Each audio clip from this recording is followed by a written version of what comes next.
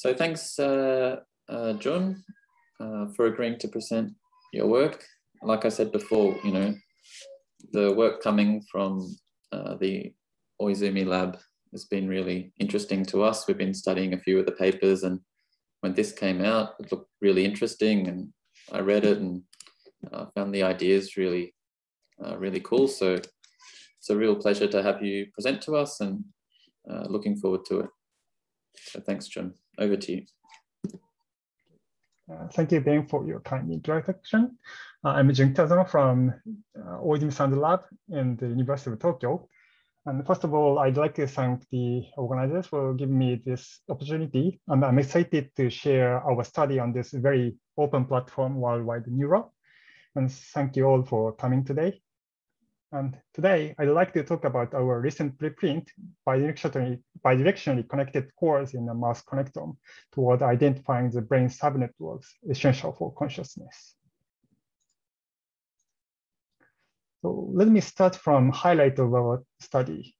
Uh, based on ample empirical evidence, it has been suggested that bidirectional interaction among brain areas is essential for consciousness. Uh, based on this thought, uh, we propose a novel method for extracting network cores with strong bidirectional connections. Uh, here is a kind of schematic of our method. Uh, if we apply our method to this kind of network, we can extract cores like this. And in this example, uh, this orange area is uh, extracted as uh, most strongly bidirectionally connected cores, and light blue area is extracted as uh, second the network core with the strong with the second strongest bidirectional connections. And then we applied this proposed method to a whole brain mouse connectome, and we found that the cores with the strongest bidirectional connections consisted of regions presumably essential for consciousness, such as isocortical and thalamic areas and the claustrum. And contrarily, we could not find such correspondence between the cores and consciousness when we applied other simple methods like K-core decomposition, which ignored bidirectionality. So in our study, uh, we show that um, by considering bidirectionality is a key to relate brain areas to consciousness. Okay, uh, let's move to the main part of, of today's talk. Um, in which areas in the brain does our consciousness arise? This is one of the biggest questions in neuroscience. In tackling this question, an important notion to note is that bidirectional processing, or in other words, recurrent processing. In previous studies, it's been suggested that bidirectional interaction like this uh, among brain areas is essential to consciousness rather than this kind of simple unidirectional interaction. For example, previous studies examining visual perception have shown that conscious percept does not arise when there is only feedforward process, whereas it arises when there is feedback as well as feedforward process. In addition, the feedback component disappears not only during the loss of specific contents of consciousness in awake states, but also during unconscious states where consciousness experiences are generally lost such, such as general anesthesia, sleep, and vegetative states. The importance of this kind of bidirectional processing is suggested independent of sensory modalities like vision or, or auditory processing or somatosensory processing, and species from human, monkey, rodents, birds, and even fruit flies. And figure on the right-hand side is more naive example uh, that give us an intuition that bidirectional interaction is essential for consciousness. For example, the retina is not considered to be part of the place of consciousness. I mean, the retina is kind of is not essential for consciousness. And the retina, retina is purely feed-forwardly connected to the brain retina is uh, at the upstream to the brain. And the same is true for the motor nerve or muscles. Motor nerve or muscles are at the feed forward to the brain and it's downstream to the brain. And these kind of feed forward, purely feed forward connected part uh, thought to be irrelevant for consciousness, not essential for consciousness. Based on these findings and uh, intuition, uh, previous studies hypothesized that the subnetworks in the brain supporting consciousness should be bidirectionally connected. Thus, evaluating which subnetworks in the brain are bidirectionally connected and how strongly is an important step in identifying the region essential for consciousness. In this study, we propose a method for extracting network cores in which elements are strongly bidirectionally connected. We call such network cores complexes. This term and concept uh, originate from uh, integrated information theory, and although the specific definition of complexes differs in the original theory. And let's consider a network shown on the left side again, and the nodes BAFIJ uh, bidirectionally connected, while the nodes A, C, D, G, H uh, feed forward connected, uh, which might be afferent or efferent areas like retina or motor nerve. And if we apply the proposed method to this network, we can extract network cores from this uh, network cores complexes from this network, which are shown by color shading like this. And the subnetwork EFIJ, which is shown in orange, is a complex with the strongest bidirectional connections. And the subnetwork BEFIJ is a complex with the second strongest bidirectional connections. Oh, sorry.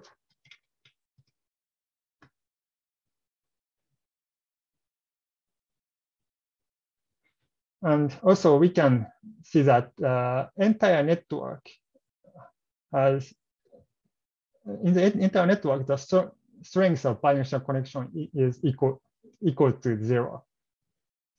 Uh, okay, like this, we can uh, extract network cores from network, and we can decompose a network uh, using the such cores hierarchically like this. Okay, then let me introduce the definition of complexes. And the following four or five pages are a little bit uh, complicated. I mean, the definition of complex, the complexes is a bit uh, complicated, but I'll try to make it uh, intuitive as far as I can. So um, please, uh, if you have any questions or question, please interrupt me anytime. anytime. And ah, yeah, so it, it's, and um, okay. Intuitively speaking, a complex is a subnetwork in which nodes are strongly bidirectionally connected and hence um, inseparable a complex is a subnetwork whose parts are strongly connected to each other in a bidirectional manner. And in other words, a complex cannot be cut into two parts without losing many strong edges, no matter how it is cut. Okay, to define complexes, we first need to introduce two important concepts. Uh, the first one is graph cut, which is used for measuring strength of bidirectional connections. And using this graph cut, um, we measure inseparability over a subnetwork uh, by uh, concept minimum cut. We then uh, we can then define complexes. So now first let me explain about the graph cut. Okay, graph we use uh, concept of graph cut for measuring strength of bidirectional connections. Specifically, uh, we take the minimum value of the sum of the weights of connections going from one part to the other and that in the opposite direction. Um, it takes large value when connections are bidirectional and small value when connections are unidirectional. So for example, let us consider this simple network consisting of consisting of four nodes. Uh, we we consider uh, we want to measure the strength of bidirectional connection between AB and CD. Uh, to do so, we take the minimum of the value of minimum of the sum of the weights in one direction and the opposite direction. In this case, there's a connection from AB to CD. Uh, there are two connections uh, whose weights are three and one. So the connection strength from AB to CD is uh, three plus one and four. But in contrast, in contrast, there is no connection from CD to AB. So the connection strength from CD to AB is uh, CD to AB equals to zero. By taking, taking minimum of four and zero, uh, we define the strength of bidirectional connection between AB and CD equals to zero. Okay, then let us consider another example in show, showing C.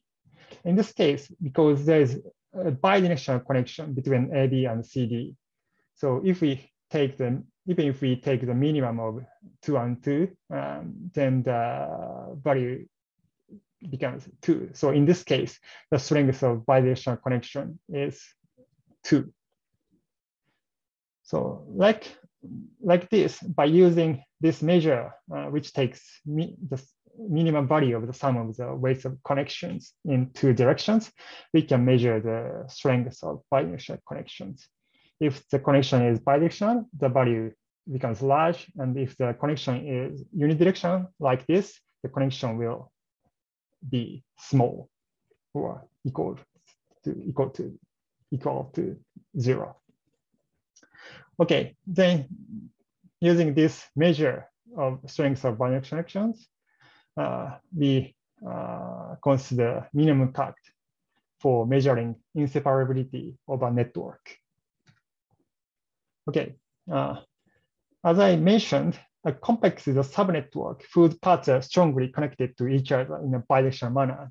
And the complex cannot be cut into two parts without losing many strong edges, no matter how it is cut. So a complex is, in other words, an inseparable network, subnetwork. To measure such inseparability of a subnetwork, we consider the bipartition of the network for which the strength of bidirectional connections is minimum among those for all possible bipartitions, which we call a minimum cut or a min cut.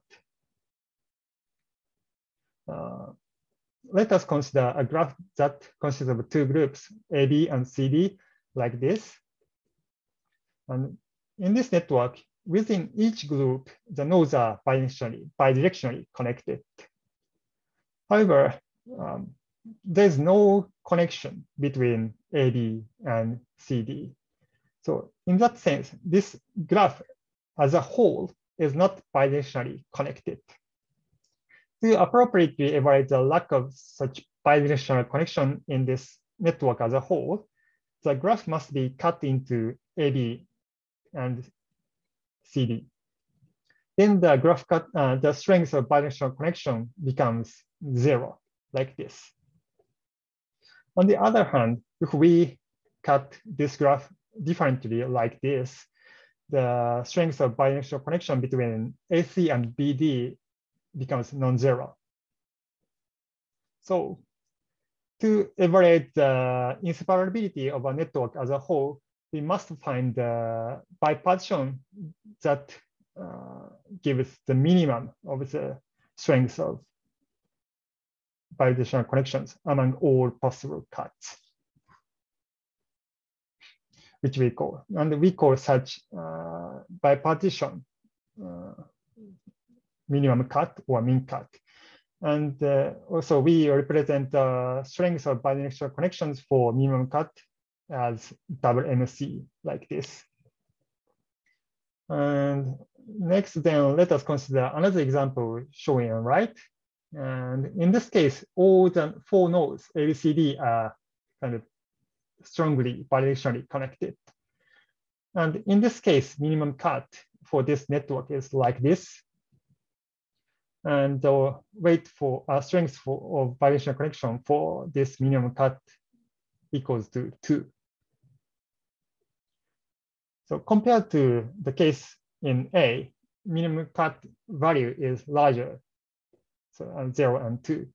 So by using this, uh, by using strength of bidirectional connection for minimum cut, we can measure inseparability of a network. In this case, network is easy to separate, and in this case, the network is more inseparable. Then now we are ready to define complexes. Jun, can I ask a question just very Yeah, quickly? sure. Yeah. Do you have a constraint that every edge must be positively valued or zero? Can, so could you could you have a sort of a negative edge, and, and if so, how would you work out whether or not that was I- part of the complex? Thank you for question. And uh, the it must be zero or non-negative. Yeah. So we cannot consider negative weights. Does this make sense? Yep, that no, that's great. That that was my intuition. I just wanted to make sure I was following. Great, thank you. Yeah. Okay, so now let me introduce the definition of complexes. Okay, and a complex is a subnetwork which is more strongly, more inseparable than larger subnetworks like this. Uh, in this case, uh, the subnetwork EFIJ is uh, complex because the inseparability for EFIJ, which is measured by uh, minimum cut, is larger than BFIJ or DHEFIJ, AEFGHIJ, and so on. So like this, uh, complex is more inseparable subnetwork than larger subnetworks that contain it. And using this complex, we can uh, decompose a network hierarchically like this. And in this case, uh, the subnetwork BEFIJ is more inseparable than the entire network. And the subnetwork EFIJ is more inseparable than BAIJ and ACDG uh, than the oh, sorry, than than the entire network. Okay, so this is a definition of network cores complexes. Okay, now we have defined the network core complexes, but here is a problem. Maybe you already noticed that, that, that is uh, searching for complexes is uh, computationally demanding because it require, requires solving two computational optimization problems. First one is for finding minimum cut, and the second one is for finding uh, complexity using minimum cuts for all the subnetworks. And if we search for complexes by brute force method, the computation time increases exponentially with the number of networks with the network size. And to resolve the problem, uh, in recent studies, we have developed a fast and exact algorithm, algorithm based on two mathematical properties, submodularity and monotonicity. And by utilizing these two mathematical properties, we can find complexes very efficiently and exactly without no approximation. And the algorithm for searching for complex is quite simple. Uh, what we need to do, what we need to do is just hierarchically divide a network by minimum cuts like this. First, find the, the minimum cut of the network, and then divide the network into two parts at the minimum cut, and then again find the minimum cut for this small small subnetwork and also for this network, and repeat this process until the entire network is decomposed into single elements. What we need to do is just like this.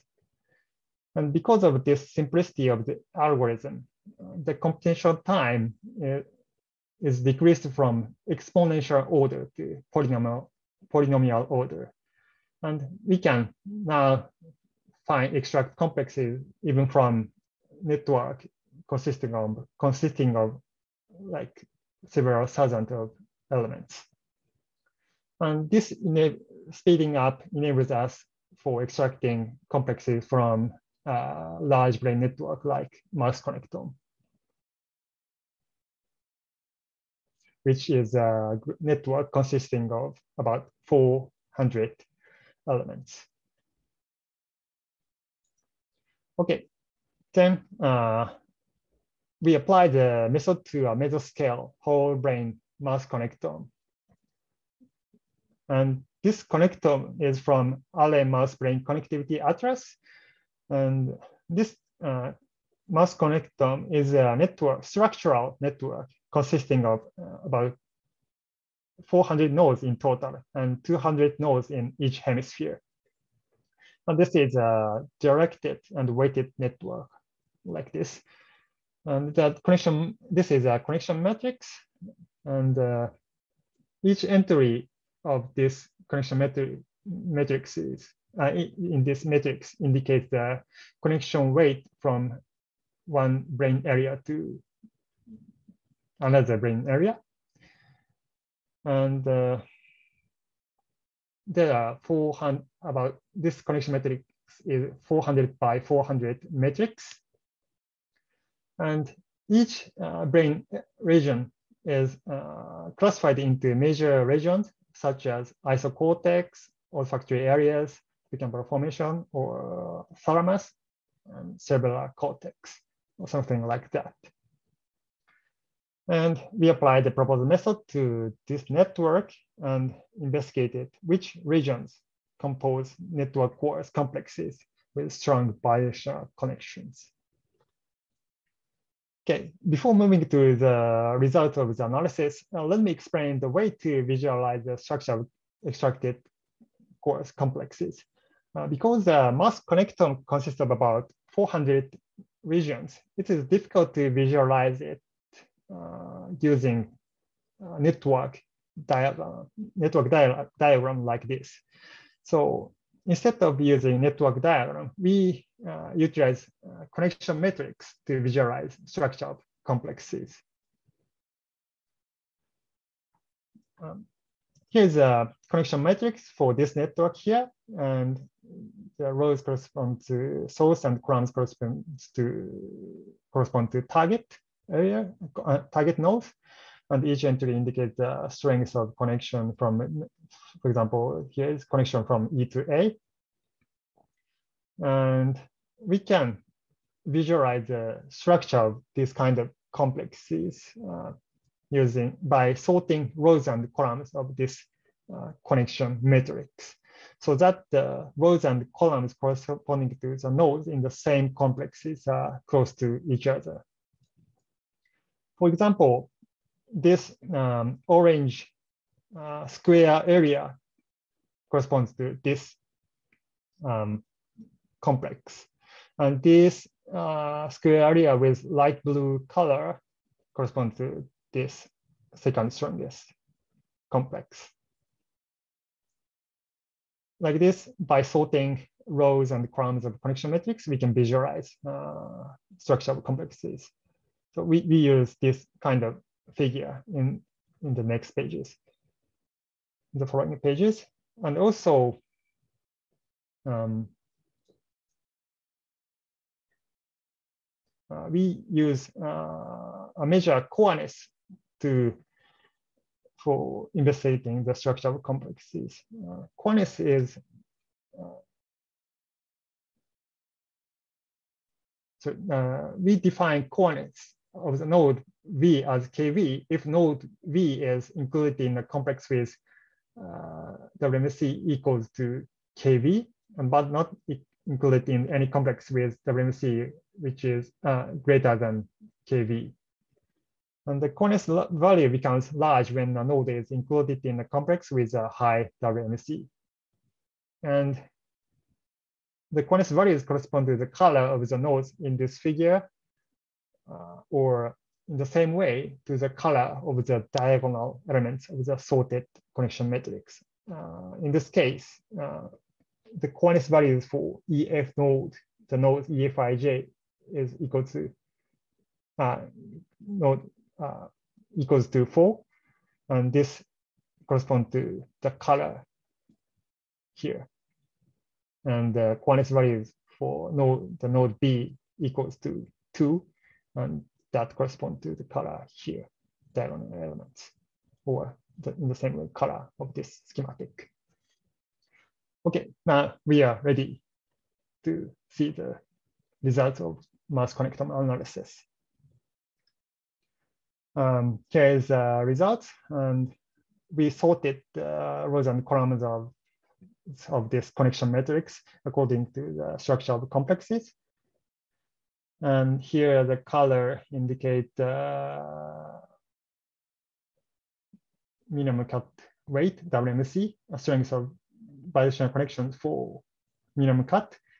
And here you can see the square area with yellowed color. And this is uh, most strongly bidirectional connected cores. And these orange square areas correspond to the second or subsequent net complexes with second or third or fourth strong, strongest bidirectional connections. And here is a zoom in view of brain uh, major, major brain regions. And we can see that uh, the complex with strongest bidirectional connection consists only of isocortical areas and,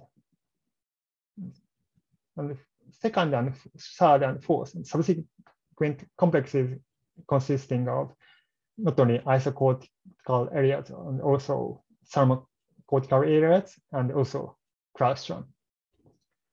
But anyway, uh, we can see that. Uh, do, do you know which, yeah. which, which nuclei within the thalamus were with, uh, within that grouping? Yeah, yeah, I, I will tell you.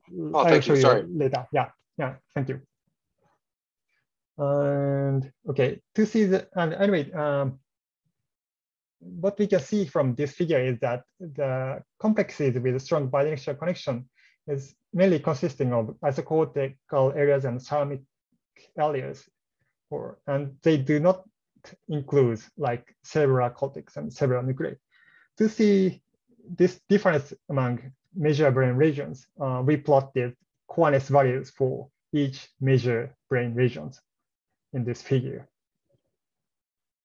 uh, we can see that uh, coreness values for many isocortical areas are large, and also for some some thalamic areas, the coreness values are large.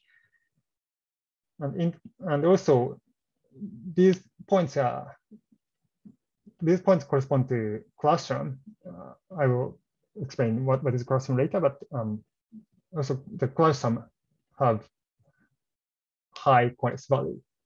But in contrast, uh, brain areas in cerebellum takes small value of coreness. This means that the complexes with the strongest bidirectional connections mainly consisted of regions, presume, uh, and isocortical thalamic areas, and some like, and also claustrum, and which are thought to be essential for consciousness.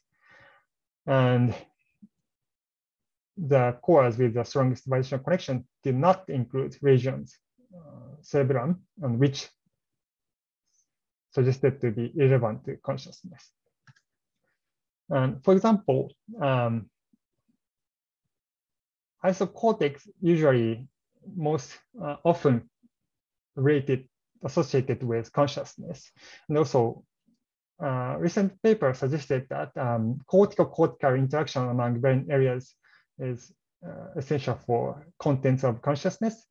And also um, isocortex, not cortex and loop between isocortex cortical areas and thalamic areas is uh, essential for states of consciousness. Thus, um, isocortical and thalamic areas considered to be essential for consciousness.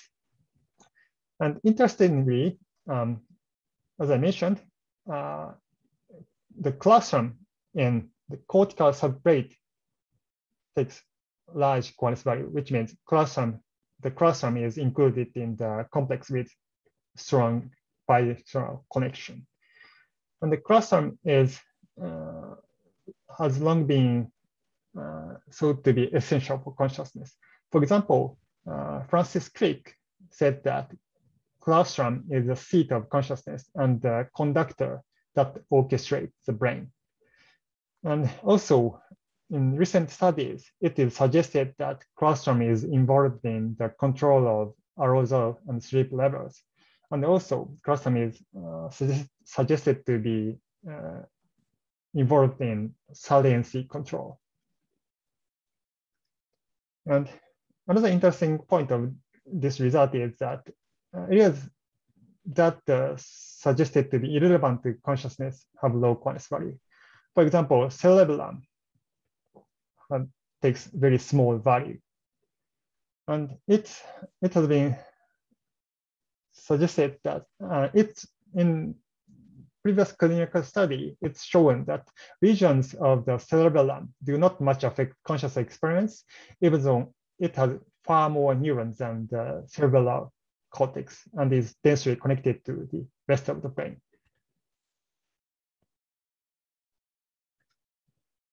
So these results indicate that the core complexes with the strongest bidirectional connections consisted, consisted of regions presumably essential to consciousness and did not include regions presumably irrelevant to consciousness. Okay, then um, finally, uh, to uh, then next to test whether or not the bidirectionality is important for the results, we checked what if we do not consider bidirectionality. That is, we compare the result with the case where bidirectionality is not considered, ignored. To do so, we replace the measure for uh, strings of bidirectional connections, like just from to this simple measure. This is ignores, this which ignores bidirectionality. Uh, that is, we take the mean of the connection between two parts. So in this case, uh, of course, we take the mean of the connection in two directions. We do not, uh, this, the value uh, is independent of direction. So even if, even in the case when the connection is unidirectional, this value takes, can take large value. So in this case, only the weight of the connection matters and the direction of connection doesn't matter. And replacing the measure for measure from this bidirectional one to undirected one is equivalent to uh, omitting the direction of the connection in this network and consider the network as a unit uh, undirected network. And again, in this by doing this like this, uh, the direction of the connection doesn't matter, and we um, but only weight of the connections matter. So we can ignore bidirectionality. And comparing these two conditions, we can assess whether really by considering bidirectionality is important or not. Okay, again to uh, Jun, real yeah. quick, it, it, looks like you might have a question um, yeah. from now. Now, do you want to ask your question?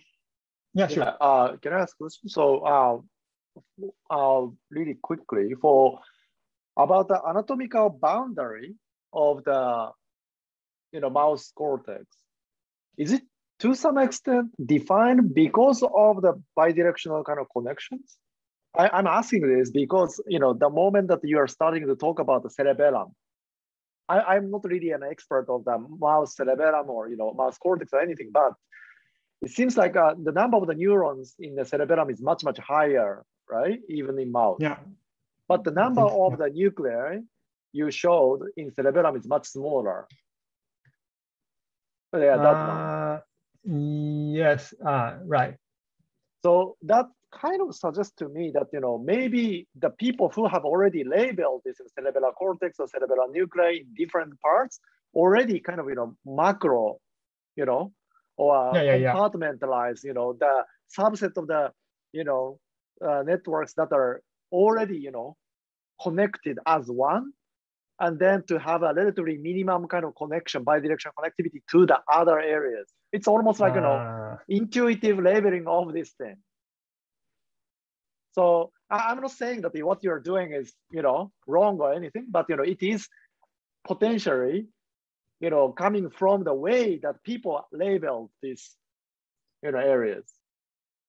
Uh, okay, I answered what do you mean, and uh, actually, uh, I'm also not s- specialty of mouse anatomy, but I, I, actually I don't understand how they divide Yeah, or postulate.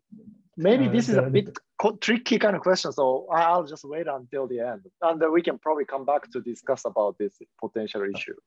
Okay, thank you. right? And the, the other clarification question is that uh, you talk about the strength of the Yeah. anatomy, and uh, Yes.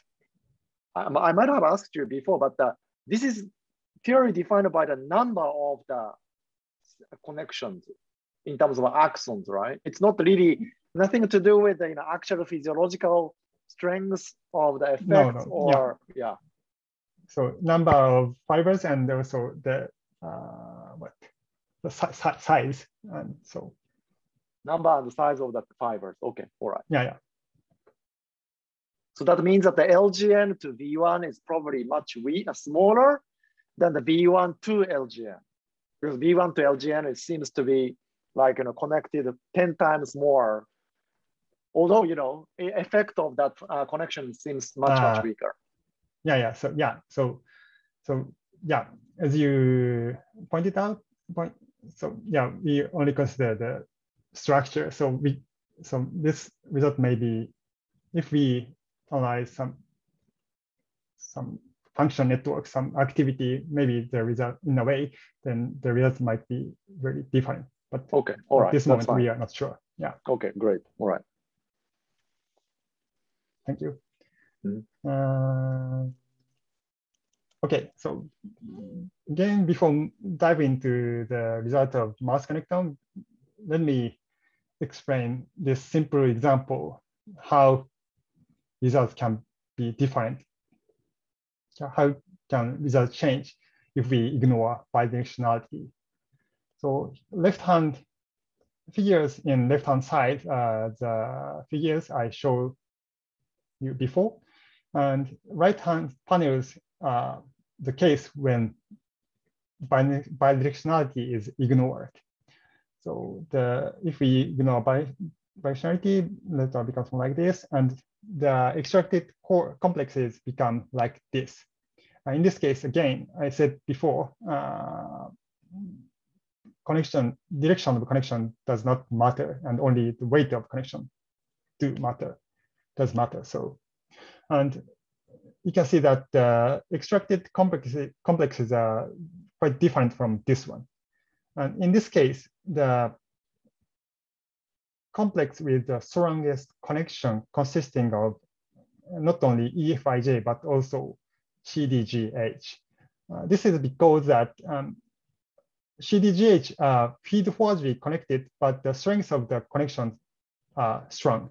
So in this case, because CDGH, uh, uh, in the left-hand case, the CDGH are feed-forwardly connected, so unidirectionally connected. So they are not included in the complex with the strongest bidirectional connections. But in the in this case, when bidirectionality is ignored, because the connection is, is strong, so they are included in the complexes, com the complex with the strongest connections. And you can see the difference also in this uh, sorted connection matrix and coreness values. And the coreness values are large for not only EFIJ, but also for CGDH like this. Okay, now we did the same thing for mouse connectome. And here is the result. And we can see that uh, the right panel shows the result when bidirectionality is ignored. And here is a zoom in view of brain uh, regions included in the strongest complexes. And we can see that these complexes do not necessarily consisting of uh, isocortical or thalamic areas, but consisting of many major brain regions. And we can see the difference from also using uh, values. And you can see that there's little difference among major brain re regions. You can see that uh, like there's uh, some, okay, the maximum value for of value for each major brain re regions are almost, almost the same for many major brain regions. And like even some several brain regions in several nuclei take large value. And you can see that there's little difference among brain regions. So this means that um, uh, if we ignore bidirectionality of connections, uh, we cannot see uh, this kind of difference among brain major regions, and we cannot see good correspondence uh, between complex stru structure of complexes and consciousness. I mean, the, this result indicates that considering bidirectionality is a key that characterize the areas that have been associated with consciousness. Okay, then uh, finally, uh, we compare the extracted complexes with some existing measures for network analysis. Some of you may get, think that maybe um, com extracted complex is just a kind of assemble of high degree nodes. And to, to test that, to test that, we compared coreness values with a degree of nodes. Um, here we de define the degree of nodes as just the sum of the weight of edges uh, connecting to a target or source nodes. And we can see that the coreness values for the complexes when bidirectionality is considered is um, and the degree uh, only weakly correlated Many brain regions with high coreness values have low degree. So this means that uh, brain areas included in complexes with strong bidirectional connection do not necessarily have high degree. In contrast, the coreness for the complexes when bidirectionality is ignored and degree are very strongly correlated um, especially around the lower degree range. Uh, anyway, um, this line is the identity line. So if the points are on this identity, identity line, the degree and coreness values are equal to each other.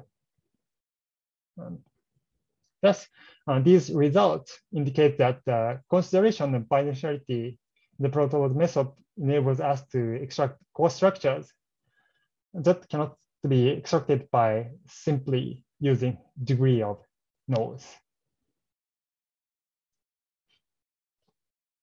And then uh, lastly, uh, we compared the proposed method with one of the most popular existing uh, method, S-core decomposition, or which is also called K-core decomposition. Um, S-core decomposition is a method for extracting network cores similar to our method, but this method is uh, purely depend is purely dependent on degree of node. So in this method, uh, we cannot consider uh, we do not use um, sorry we cannot consider bidirectionality of connections, and this actually this method is uh, very often used for analyzing brain networks. And we compare this popular method with our method complexes. And here is the comparison, result of the comparison. And uh, we can define coordinates also for S-core decomposition. And so we compared the result using coordinates values. And again, we can see that the coordinates when bidirectionality is considered is very weakly correlated with coordinates for S-core decomposition. So some, so you can see very the points are very scattered. Uh, in contrast, uh, the coordinates when bidirectionality is ignored and coordinates for S-core decomposition are almost identical.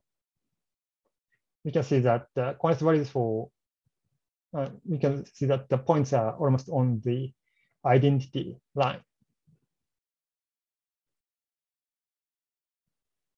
So this reflects the fact that uh, the in the S-core decomposition, we cannot consider bidirectionality. And also, uh, we went to detail, but we, we can theoretically show that there's uh, some relation, theoretical relation between S-core decomposition and um, complexes when bidirectionality ignored. So in this case, uh, anyway, um, we can see that by using S-core decomposition, we cannot see the structure that we can see by using complexes when bidirectionality is considered. So this means that in the mouse connectome case, um, we cannot, the corresponding difference between core structure and consciousness cannot be found by using S-core decomposition. Okay, here's a summary of talk. And we propose a novel method for extracting network cores, which is called complex, complex Uh, that consists of bidirectional, connections. And we apply the method to a whole brain mouse connectome. And the cores with the strongest bidirectional connections consist of regions presumably essential to consciousness, such as isocortical and thalamic regions and the claustrum and did not include regions presumably relevant to consciousness, for example, cerebellum. And contrarily, we could not find such correspondence between the cores and consciousness when, apply, when we apply the other simple method which ignored bidirectionality. And finally, let me show you uh, brain regions, specific brain region names that compose uh, complexes. Mm.